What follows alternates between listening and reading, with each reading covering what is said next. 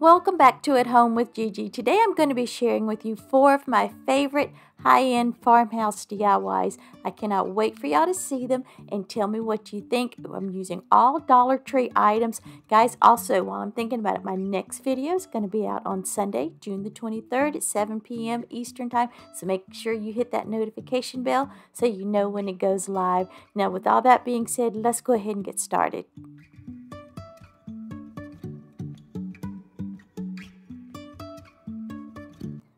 This project, we're going to be using this wood round from the Dollar Tree and we're going to give it one coat of Waverly chalk paint in the color white. And once that's dry, I've taped down my stencil and I'm mixing together some spackling and this color celery from Waverly chalk paint because I want my paint mixture to be thickened and whenever I'm applying it to the stencil, I want it to have a like a 3D raised effect.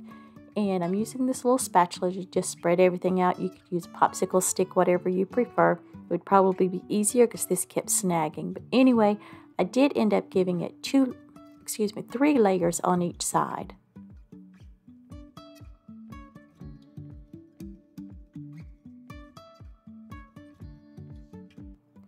For the words on the stencil, we're going to be using the color Elephant from Waverly, and I'm just using a torn up piece of sponge.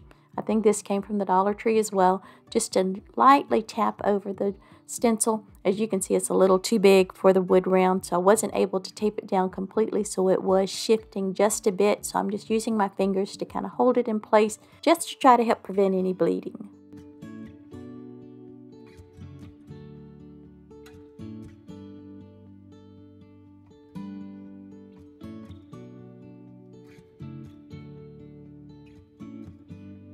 Then I'll just go back in with a little tiny paintbrush and connect those lines that was left from the stencil.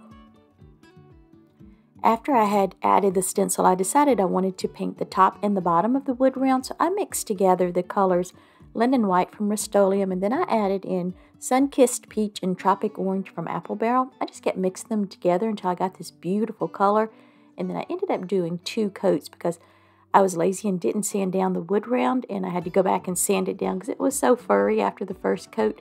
But I love this color. Isn't it beautiful?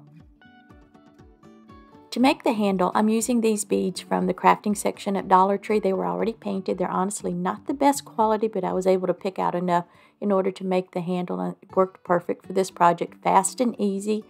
And I made a quick little messy bow Y'all, this ribbon came from Michaels. I got it for 70, 80% off, so it was actually like less than $2 a roll. Isn't this ribbon just absolutely gorgeous? But it's just, it's a little too big. I, it probably needs to be cut back or cut down just a little bit, but that's okay. I love a big bow. And for the center, I'm just popping in some of these little rosettes. And this come from Walmart back in there where you get your fabric, stuff like that. And I think it's just the perfect finishing touch for this. I love these colors. It's just so beautiful. And it just, it will go all the way through spring and summer. And I've had it on my back um, door for forever. And I just absolutely love it. I just wanted to say a quick welcome to all of my new subscribers. I'm so happy to have you here. And thank you to all of my returning subscribers. And thank y'all so much for all the sweet well wishes as I'm recovering from my surgery. It truly means the world to me. We're going to be creating a faux stone platter using this plastic tray from the Dollar Tree. But first I took it outside and gave it a coat front and back of the Rust-Oleum white spray paint. I'm kind of using that as a primer to help the plaster adhere to that plastic surface. And I'm using plaster of Paris and I started out with about three scoops originally. I didn't really measure the water, I just kept pouring a little bit in at a time and mixing it until I got the consistency I was looking for. Now you'll see in just a moment, I did go back and add more plaster of Paris because obviously this is just not going to be nearly enough to cover the uh, plaster or rather the platter on one side. So I just added more in, just kept adding water just a tiny bit at a time. And as you can see, this is the consistency that I was looking for. Makes it a lot easier to spread out.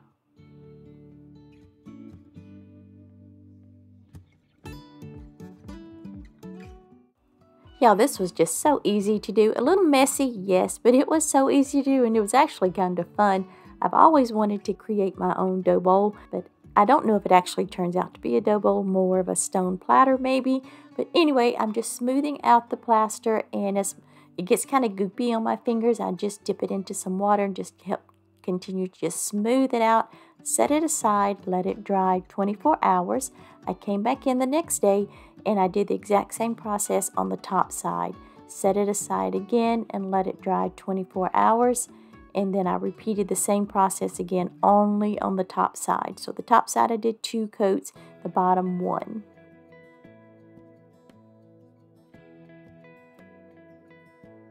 I took it outside and sanded it down.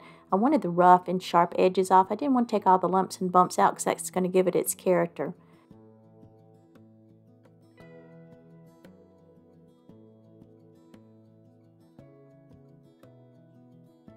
I decided to give the platter a coat of paint top and bottom and I didn't have the color that I wanted or rather I didn't have enough of the color that I wanted. So I created some chalk paint using Apple Barrel's Beachcomber Beige and in hindsight I really wish that I had not because I got about halfway through this and I was just like Lord I am not a fan of this but I just moved forward finished painting it let it set overnight and dry kind of went back and forth if I should change the color.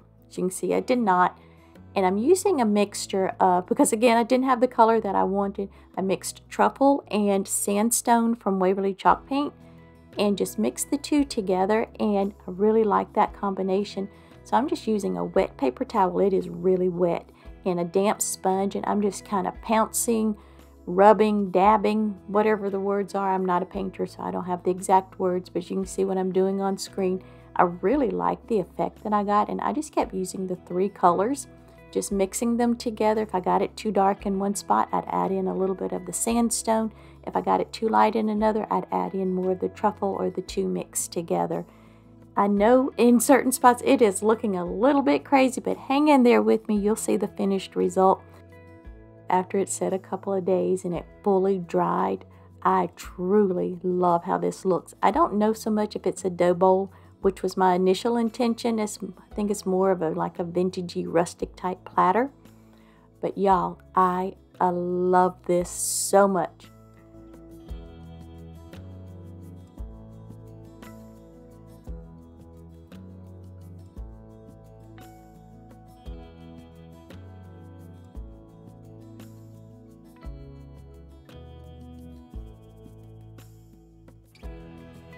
I would love to know what your thoughts are about it. Do you think it's a dough bowl or does it look more like a vintagey, rustic type platter? And would you ever guess that this was originally a Dollar Tree plastic platter?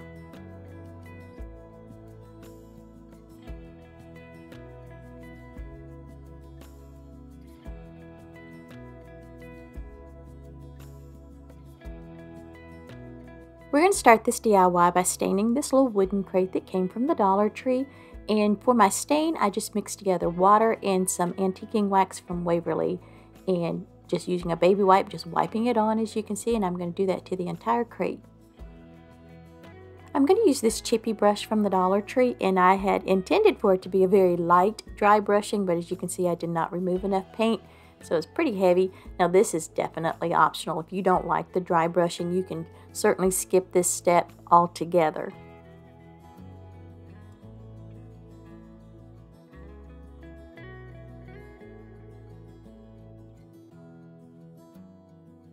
To create our arrangement, we're going to be using these beautiful peachy orange roses from the Dollar Tree.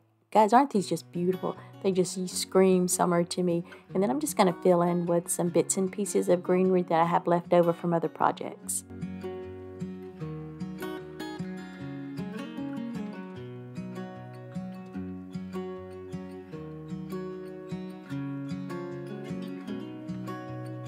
I'm going to pop in these tulips just for a little bit of a contrasting color. Now, I didn't have anything else in close to this color, so I'm using the tulips. I know it's a little past the time for tulips, but anywho, I've had these left over for a couple of years, so they're not in the best of shape. I had to use just a little bit of hot glue to kind of keep them on their stems. This little galvanized birdhouse came from the Dollar Tree, and I think it's just so cute. And as you saw, I first used my white paint pen to outline the flowers. I just didn't like it. So I was rummaging around, came across my puffy paints, and I'm like, you know what, let's just go for it. So I just took my time, outlined the flowers and all the little greenery, and I am so glad that I took the time to do this because it just really made those little features just pop out using that puffy paint.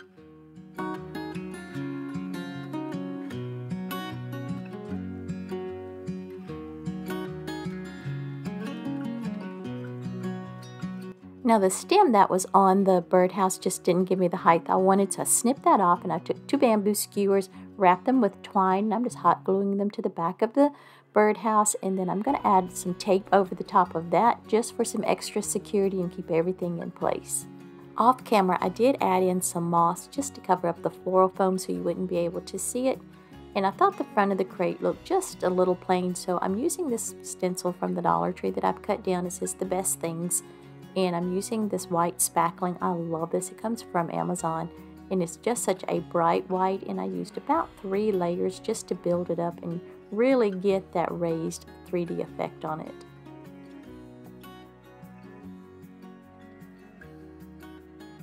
We're going to attach the wooden crate to this $5 cutting board from the Dollar Tree and I really didn't care for the color of the cutting board. I didn't want to paint it so I decided to stain it with the antiquing wax from Waverly. I'm just using a baby wipe and I'm just continuing to add layers of the stain until I get it to the desired color. I want to distress the cutting board a little bit, so I'm just going to dry brush over it with Rust-Oleum's Linen White.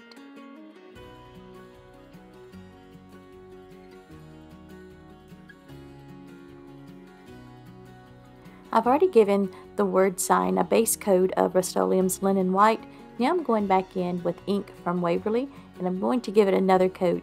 And while it's still slightly wet, I'm going to do what's called wet distressing with the baby wipe and I'm just going to go around the very edges of the letters and just remove some of that paint so that white will pop through.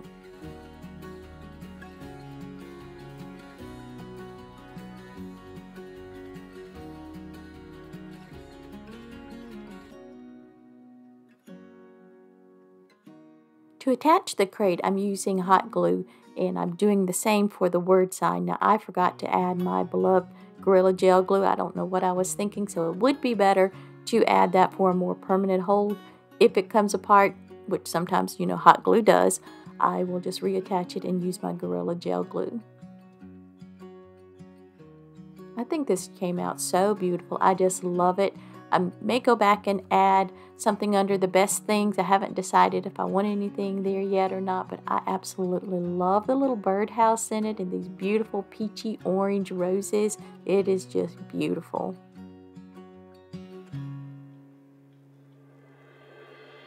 We are going to be creating a beaded garland with these ping pong balls from the Dollar Tree. We will be using all three packs, well except for two, and they met an unfortunate tragic end. But seriously, we have taken a pin and marked each side of the ping pong balls to try and make sure the holes are going to be even and uh, directly across from each other. And then I'm just using the tip of my little Surebond hot glue gun just to create the holes. I mean, it's hot and it just goes right through the plastic and I just give it a little twist and it just creates the perfect hole. Next, we're going to go ahead and give each of the ping pong balls a coat of Waverly chalk paint in the color white. Let that dry. Then I'll go back in and give it a second coat. Now, the inspiration for this came from a garland that I saw at Pottery Barn. It was much bigger than this, of course, and obviously wooden, but it was $129, and I just could not justify paying that much. So I said, you know what, I'm going to attempt to recreate it, but you'll have to tell me what you think. I'm going to put a picture at the end, so let me know what you think about this.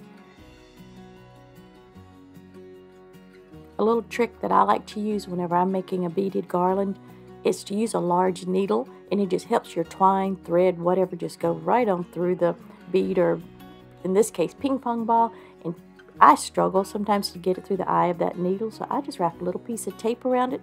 Sorry, I guess I cut that part out, but I wrap a piece of tape around the end and just kind of smoosh it down and it just makes it so much easier because that's something that I do struggle with, especially when I get older and I'm fat fingered but anyway, just a little trick.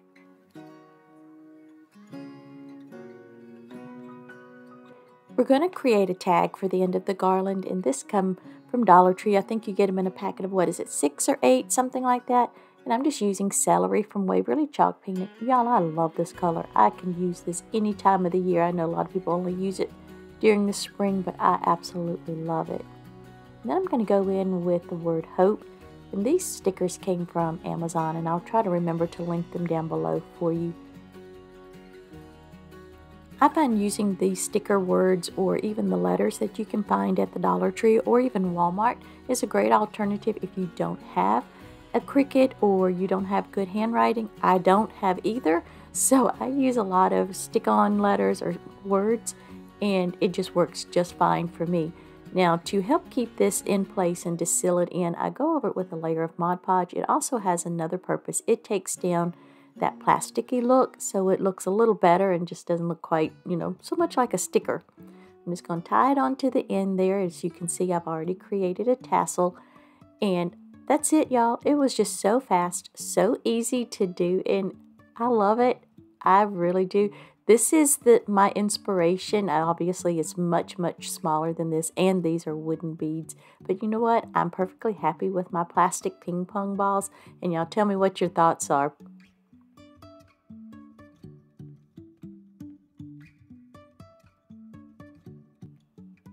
I hope you've enjoyed these amazing farmhouse DIYs. Let me know which one's your favorite. You know, hit that subscribe button, hit the like button, leave me a comment, all the things that lets YouTube know that you've enjoyed my video. Seriously, it means so much to me and it really does help my channel to grow and it's absolutely free. Don't forget, brand new video next Sunday, June the 23rd, 7 p.m. Eastern Time. I'll see you right back here. Bye.